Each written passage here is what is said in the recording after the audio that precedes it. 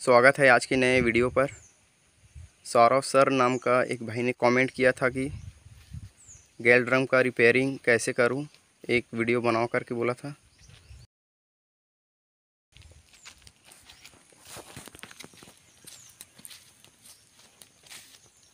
ये रहा गैल ड्रम ये देखो कंडीशन इसका बढ़िया है, उतना कुछ ज़्यादा ख़राब नहीं हुआ है, बस इसका जो ये पत्ती रहता है, ये पूरा घिस गया है और कहीं कहीं पर ये छोटा सा छेद हो गया है। ये भाई रिपेयरिंग हो जाता है ये गेट ड्रम ये जो अपना गाड़ी में गेल ड्रम लगा है देखो ये पत्ती पूरा वेल्डिंग है। इसलिए इसको निकाल कर ही रिपेयरिंग किया जा सकता है।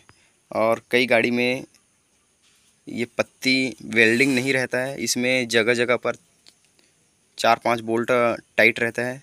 उसको लगे कि लगे ही गाड़ी अंदर घुस के बोल्ट ढीला करके पत्ती बाहर निकाल लो और फिर वही साइज़ का पत्ती कटवा के उसमें छेद करा दो। फिर उसको गैल ड्रम में लगा दो। फिर गैल ड्रम फिर नया जैसे हो जाता है। और अगर ऐसे जगह जगह छेद हो गया होगा तो फिर गैल ड्रम को सीधा बाहर निकलवा के इसमें छोटा छोटा चादर वेल्डिंग करवा दो। जहाँ जहाँ पर छेद है वहाँ पर। और नया पत्ती लगवा लो, फिर इसको बढ़िया सब बैलेंस वैलेंस करा के फिर गाड़ी में लगा दो। और कोई ज़्यादा बड़ी बात नहीं है मेरे भाई। क्योंकि कल मैं सामान लेने के लिए गया था तो फिर नया गेल ड्रम का रेट पूछा। छः हज़ार रुपया नए का रेट है।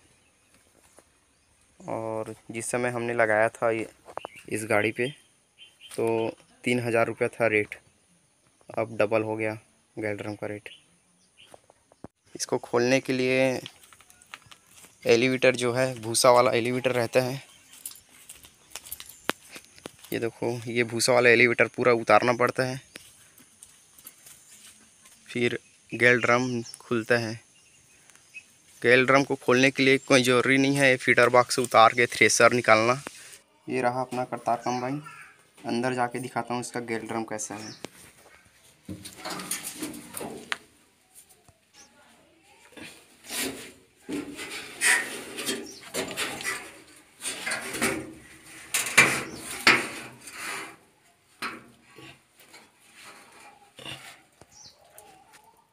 अपने करतार कंबाइन का गेल ड्रम है। ये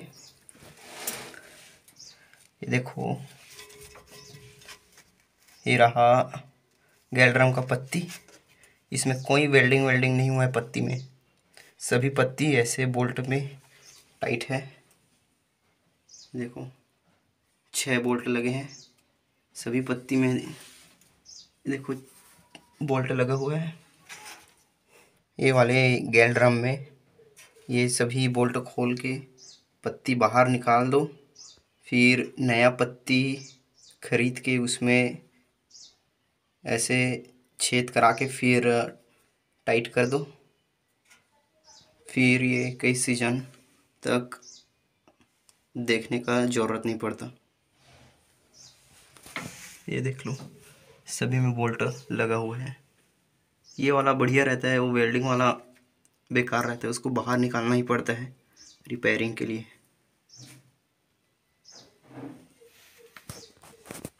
इसमें छोटे छोटे छेद हो गया था तो इसमें अलग से ऐसे चादर लगवा दिए हैं। अगर कुछ कारणवश गैल ड्रम को निकालना पड़े तो फिर इधर पीछे घुस के, ये देखो, ये टाकी खोल के, ये कैप खोल के अंदर में जो लॉक वॉक बोल्ट जो भी लगा रहता है, उसे खोल दो और साफ्ट बाहर निकाल के, ये रहा। एक और कैप लगा है बड़ा सा। ये देखो, बड़ा सा कैप लगा है। इसे खोल के यहीं से गैल ड्रम को बाहर निकाल सकते हैं। ट्रैक्टर वाले कंबाइन में ऐसा कोई ऑप्शन नहीं रहता है। इसमें बढ़िया सा सिस्टम दिया हुआ है, ताकि कोई भी ड्राइवर या फोरमैन को ज़्यादा तकलीफ़ उठाने की ज़रूरत ना पड़े। एक और भाई ने कमेंट किया था जहाँ तक वो भी यूट्यूब चैनल चलाता है। ट्रैक्टर रियलिटी करके। उसका चैनल है, उसने कमेंट किया था कि गाड़ी धान को पीछे से बाहर उड़ा रही है। उसका एक वीडियो बनाओ करके बोला था और फिटर वाक्स से धान को बाहर की तरफ़ फेंक रहा है, उसके लिए भी एक वीडियो बनाओ करके बोला था। अगर गाड़ी दाने को पीछे बाहर उड़ा रही है तो फिर ये पुल्ली को छेड़छाड़ किया होगा, या तो फिर ज़्यादा छोटा लगा दिया होगा। इसलिए ब्लोअर का स्पीड बहुत ज़्यादा हो गया होगा। इस, इसलिए दाने को बाहर फेंक रहा है।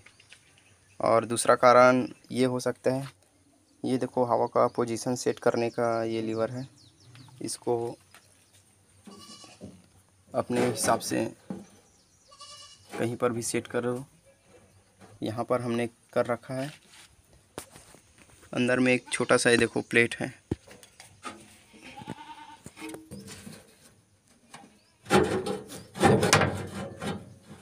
हवा का पोजीशन सेट करने के लिए प्लेट दे रखा है। इसको अपने अकॉर्डिंग एक जगह पर सेट कर लो। और दाना फेंकने के एक और कारण हो सकता है। ये देखो सीप या तो फिर सिप चौक हो जाता होगा। इसलिए दाने को बाहर फेंक रहा होगा गाड़ी।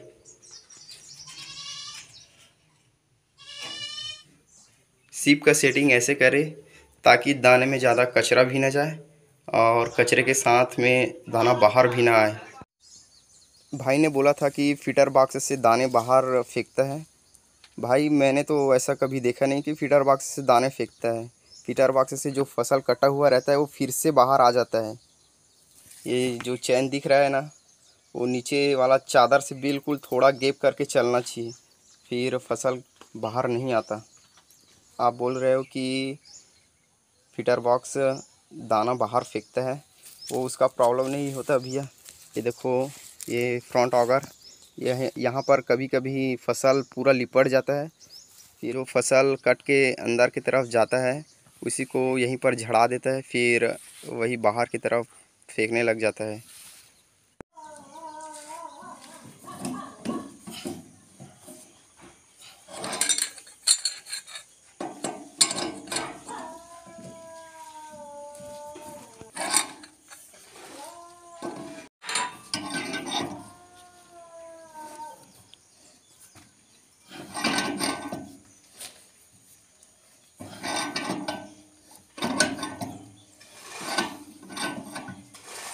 ये रहा गरारी।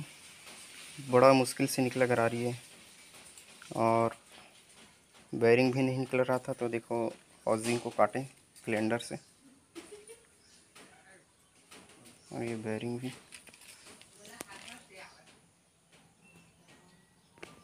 ये रहा बैरिंग का कलर। इसे भी काटेंगे।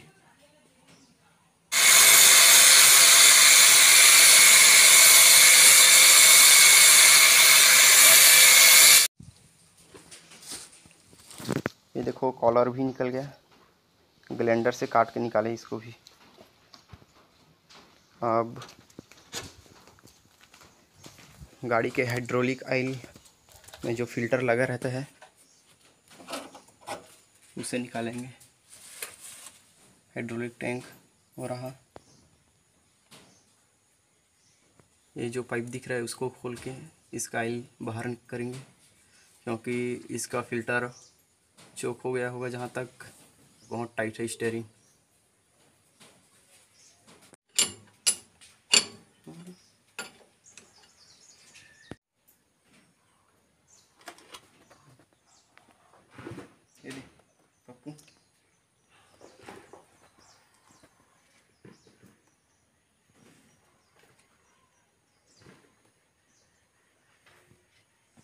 इस साइड भी एक ऑयल फ़िल्टर लगा है। इस साइड भी ऑयल फ़िल्टर लगा है और उस साइड भी एक ऑयल फ़िल्टर लगा है। दोनों को निकालेंगे। ये देखो ऑयल फ़िल्टर टंकी के अंदर में रहता है ये। एक और है, उसे भी निकालेंगे। इधर है।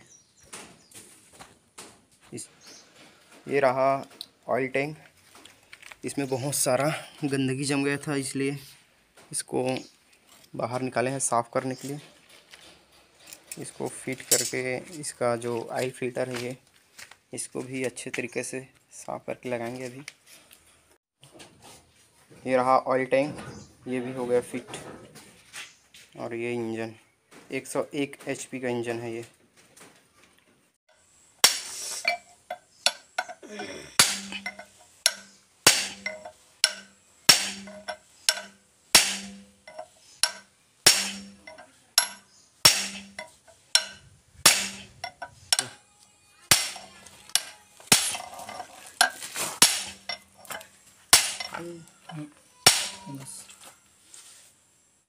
ये साफ्ट अभी लग गया।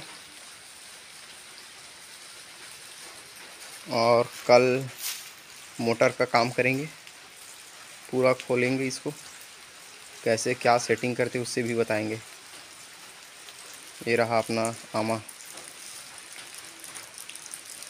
और ये है अपना घर। ऐसे ही जानकारी भरी वीडियो देखने के लिए वीडियो लाइक करें और चैनल सब्सक्राइब करें। धन्यवाद।